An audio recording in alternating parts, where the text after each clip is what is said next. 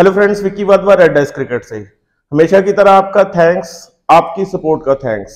आप ऐसे ही सपोर्ट करते रहिए, हमें बहुत ही मोटिवेशन मिलती है। ये एक इंफॉर्मेटिव चैनल है आपके लिए, आपकी सारी कंफ्यूजन दूर करने के लिए। हम और आप क्रिकेट से बहुत प्यार करते हैं और वही चीज़ को आगे परस्यू करने के लिए, उसकी सारी डिटेलिंग जानने के लिए, आपको अवेयर करने के लिए ये चैनल बनाया गया है आपकी इंफॉर्मेशन के लिए। आप ऐसे ही सपोर्ट करते रहिए, आप ऐसे ही अपनी क्वेरीज भेजते रहिए, हमें क्वेश्चन पूछते रहिए सो दैट कि हम ट्राई करें आपकी सारी कंफ्यूजन दूर करने का। हम पहले भी बहुत से वीडियो कर चुके हैं, जिसमें आपके बहुत से क्वेश्चंस बहुत सी क्वेरीज का हमने वीडियो किया है। आज का वीडियो भी उसी के ऊपर है। आज कॉन्टेस्ट फाइव भी आने वाला है। बहुत ही इंटरेस्टिंग क्वेश्चन होने वाला है उसमें। उसके लिए वीडियो आपको लास्ट तक देखना है।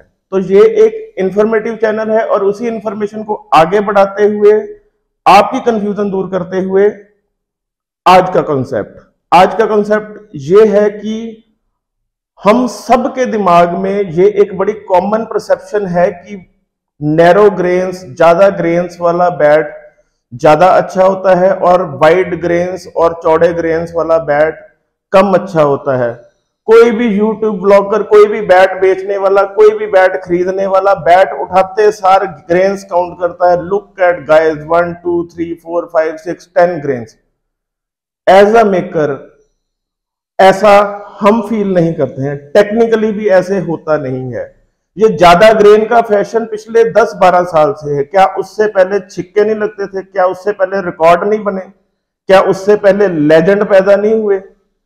तो ये एक फ़ैशन होता है, फ़ैशन टाइमली चेंज भी होता रहता है और मैं अपनी बात को सपोर्ट करने के लिए टेक्निकली आपके सामने अपना एक्सपीरियंस शेयर करना चाहता हूँ, जो इस तरह है। मेरे पास सेम डायमेंशन के दो लकड़ी के पीस हैं। मैं आपको दिखाता हूँ। ये एक पीस मेरे पास है, जिसमें एक, दो, तीन, चार, पाँच छ सात, आठ, नौ, दस ग्रेन्स हैं। और इसका वेट है दो हज़ार एक सौ सतारह ग्राम। ठीक है जी? और दूसरा मेरे पास एक क्लेफ्ट का पीस है, जिसमें ऑड ग्रेन्स हैं। एक, दो, तीन, चार, पाँच छ सात और चौड़े कहीं पे, कम चौड़ाई पे इवन स्पेस्ड ग्रेन्स भी नहीं है और इसका वेट है एक हज़ार सौ तिहत्तर ग्राम। अब सबकी कंफ्यूजन रहती है कि वाइड ग्रेन बैट ज़्यादा चलते हैं नैरो ग्रेन्स बैट बहुत अच्छे होते हैं, पर वो कम चलते हैं। क्यों कम चलते हैं? इसका आंसर किसी के पास नहीं है, इसका आंसर मेकर के पास है। मैं आपको बताता हूँ। सपोज़ ये एक ग्रेन है, आपके बैट पे ऐसी पाँच ग्रेन्स हैं चौड़ी चौड़ी पाँच ग्रेन्स हैं। तो आपको समझाने के लिए एक छोटी सी एग्जांपल मैं देता हूँ कि जैसे एक वाइड ग्रेन में मान लो, आपको समझाने के लिए बता रहा हूँ कि एक वाइड ग्रेन में मान लो 300 फाइबर हैं 300 नंबर ऑफ़ फाइबर्स हैं। और उसी स्पेस में अगर तीन ग्रेन्स हो जाएँ, उतनी ही स्पेस में मान लो तीन ग्रेन्स हो गई। तो आपके बैट के ऊपर 12 ग्रेन्स हो जाएँगी 15 ग्रेन्स हो जाएँगी। तो होगा क्या?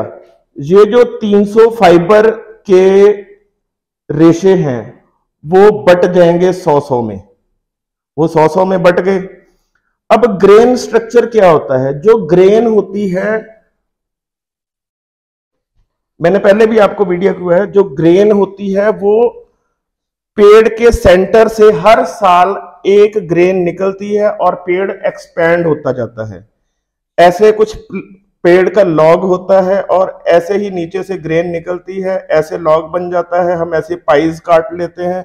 ये एक पाई निकाल के हमने यहाँ पे रख ली क्लेफ्ट कुछ ऐसे हो जाती है। तो ये जो क्लेफ्ट की ग्रेन्स हैं, ये बैट में दीवारों का काम करती हैं, ये लकड़ी में कॉलम्स बना देती हैं। तो कॉलम्स में जब ये फाइबर बट जाता है, कहा एक कॉलम में 300 फाइबर आया, कहा दस कॉलम्स में सौ सौ फाइबर आए तो ऑफ़ कोर्स जो ज़्यादा बंधे हुए होंगे फाइबर ऑफ़ कोर्स जो फाइबर ज़्यादा क्वांटिटी में एक साथ जुड़े रहेंगे, वो ज़्यादा देर चलेंगे और जो सौ सौ में बटे हुए हैं, हम पढ़ते हैं ना यूनियन स्ट्रेंथ तो जो फाइबर सौ सौ में बट चुके हैं, वो कम लास्ट करते हैं, ये एक कंपैरिजन है। ऐसा नहीं है कि ज़्यादा ग्रेन्स वाला बैट जाते ही टूट जाएगा, ये कंपैरेटिवली है। लकड़ी में एक इट जान होती है, लकड़ी को प्रॉपरली प्रोसेस किया जाता है प्रॉपरली प्रेस किया जाता है। प्रेस एक लिटमस टेस्ट है, उसमें से जो लकड़ी निकल जाती है, उसने चलना ही चलना होता है। बट हम यहाँ पे एक कंपैरेटिव रिव्यू आपको दे रहे हैं कि वाइड ग्रेन्स क्यों ज़्यादा चलता है और नैरो ग्रेन्स कंपैरेटिवली कम क्यों चलता है? तो ये एक क्वेश्चन मैंने ट्राई की है आपको क्लियर करने के लिए। अब अब क्वेश्चन ये है कि क्या ये नैरो ग्रेन्स बैट ही अच्छे होते हैं या वाइड ग्रेन्स बैट अच्छे होते हैं? सी ये एक नेचर है। जैसे कोई भी ह्यूमन बीइंग की ब्यूटी कोई भी ह्यूमन बीइंग की जो खूबसूरती है फ़िज़िकल खूबसूरती है वो उसकी फिटनेस की गारंटी नहीं होती। सिंपल वर्ड्स में कि ये ज़रूरी नहीं है कि कोई इंसान बहुत ही खूबसूरत है, वो फिट भी है। तो यहाँ पर भी वही चीज़ अप्लाई होती है कि ज़रूरी नहीं है कि जो भी लकड़ी ज़्यादा ग्रेन्स की है, वो अच्छी ही है। फ़र्क कहाँ होता है? दोनों लकड़ियों में फ़र्क होता है इसके अंदर टेक्सचर का, इसके अंदर लकड़ी की डेंसिटी का। ये जो लकड़ी मैंने पहले आपको दिखाई, जिसमें बहुत सी ग्रेन्स हैं, इसमें बहुत ज़्यादा हार्ड लकड़ी है, इसकी डेंसिटी बहुत ज़्यादा है प्लस इसमें वेट है। तो आप चाहकर भी 11 ग्रेन की लकड़ी से एक बहुत अच्छा बैट नहीं बना सकते, क्योंकि इसका ऑलरेडी वेट 2117 ग्राम है, और जब इसका बैट बनेगा तो ये 1300 ग्राम तक जाएगा।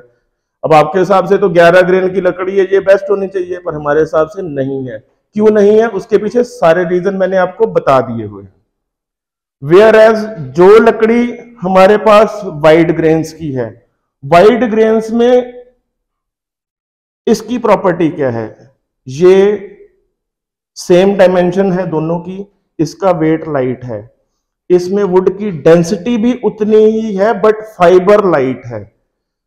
लकड़ी की ब्यूटी उसकी सॉफ्टनेस में होती है। ये लकड़ी सॉफ्ट है। ऑल ये इवन स्पेस ग्रेन्स भी नहीं है, इसमें वाइड ग्रेन्स भी हैं जो आपके हिसाब से खराब होती हैं, पर जब हम इसका बैट बनाएँगे तो ये 1100 ग्राम का बिल्कुल भरा हुआ फुल प्रोफ़ाइल चलने वाला बैट बनेगा।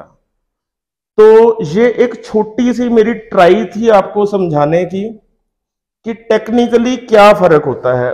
मेरे पास कोई बहुत ज़्यादा सॉलिड वर्ड नहीं आज मेरे को मिले। मैं, मैंने कोशिश की है कि आपको एक कन्वे कर सकूँ कि टेक्निकली क्या फ़र्क होता है। ये इंफॉर्मेशन मैन्युफैक्चरिंग पॉइंट से मैं आपको दे रहा हूँ कि हम मेकर पॉइंट ऑफ़ व्यू से क्या होता है। आई एम होपफुल कि आपको ये ट्राई थोड़ी सी ठीक लगी होगी। मैं समझता हूँ कि भी मैं ठीक रहा हूँ आपको समझाने में। फिर भी कोई कमी पेशी रह जाएगी। तो हम अगले वीडियो में जब भी आप हमें कोई भी क्वायर करेंगे, हम उसके ऊपर एक वीडियो और ज़रूर करेंगे। आप ऐसे ही हमें क्वेरीज भेजते रहिए। हम ट्राई करेंगे कि आपको सिंपल वर्ड्स में कन्वे कर सके कि actually manufacturing point of view से क्या चीज़ होती है और मिसकंसेप्शन क्या होती है। आप ऐसे ही क्वेरीज भेजते रहिए। अपने फ्रेंड्स को आगे भेजिए। अपने ग्रुप्स में शेयर कीजिए ये इंफॉर्मेशन सो दैट कि सबको ये इंफॉर्मेशन मिल सके कि एक्चुअल में मेकर पॉइंट ऑफ़ व्यू से क्या चीज़ होती है और क्या चीज़ मिसकंसेप्शन होती है। अब टाइम है कॉन्टेस्ट नंबर फाइव का। आपका रिस्पॉन्स बहुत अच्छा है पिछले कॉन्टेस्ट में। इस बार का कॉन्टेस्ट भी बहुत इंटरेस्टिंग होने वाला है और आपको तीन क्राइटेरिया पूरे करने एक तो सही जवाब देना है, दूसरा यूट्यूब चैनल सब्सक्राइब करना है इंस्टाग्राम पे फॉलो करना है और फेसबुक पेज लाइक करना है। आपको मिलेगा रेड डाइस का बहुत ही beautiful Kashmir willow mamba bat ये बहुत ही ब्यूटीफुल बैट है। ये आपको गिफ्ट में मिलने वाला है। अब शुरू करते हैं कॉन्टेस्ट फाइव कॉन्टेस्ट फाइव में आपको आंसर करना है। उस प्लेयर का नाम जो 2011 वर्ल्ड कप इंडिया ने जीता था, उस टूर्नामेंट में प्लेयर ऑफ़ द टूर्नामेंट कौन था? आपको वो जज करना है। You need to guess the name of the player who has been adjust the man of the tournament in world cup 2000 eleven तो इसका विनर हम डिक्लेयर करेंगे ट्वेंटी फिफ्थ सितंबर के वीडियो में। आपकी एंट्रीज हमें मिल जानी चाहिए ट्वेंटी थर्ड सितंबर तक। तीनों क्राइटेरिया आपको पूरे करने हैं, सही आंसर देना है यूट्यूब चैनल सब्सक्राइब करना है इंस्टाग्राम पे फॉलो करना है फेसबुक पेज लाइक करना है, ये सारे क्राइटेरिया पूरे करने हैं और ट्राई कीजिए यार, आगे से आगे भेजो। हमें बहुत ज़रूर है आपके सुजेशंस की, आपके कमेंट्स की, आपकी क्वेरीज की, आप हमें ऐसे ही क्वेरीज भेजते रहिए, हमें बहुत मोटिवेशन मिलती है। हम ट्राई करेंगे कि आपकी सारी कंफ्यूजन दूर कर सके, आप ऐसे ही देखते रहिए keep watching keep sharing sharing Thanks a lot.